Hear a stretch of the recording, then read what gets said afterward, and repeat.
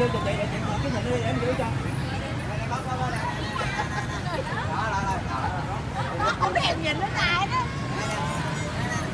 đó là là cái nhìn